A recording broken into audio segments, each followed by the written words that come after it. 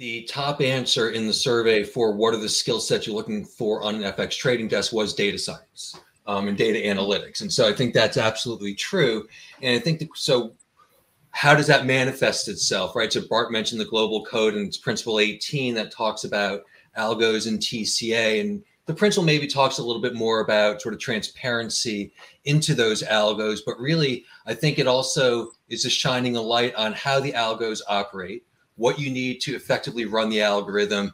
Are you embedding AI into the algorithm? Can you do you have a kill switch if your analysis says that it's not running, you know, in the way that you want it to? Is there, you know, maybe continuous optimization of the algorithm either during the trade or sort of over the over the course of your building of your FX trading tools? And so the idea of automating a lot you can't optimize without automating. I, I think that's obvious, but you know, I want to you know state that clearly that if you want to optimize your trading behavior, you're going to have to automate, and especially as Bart keeps talking about this data in and out, the right data to the right consuming application at the right time is really how you're going to get ahead and be able to create you know a more effective trading strategy on your desk.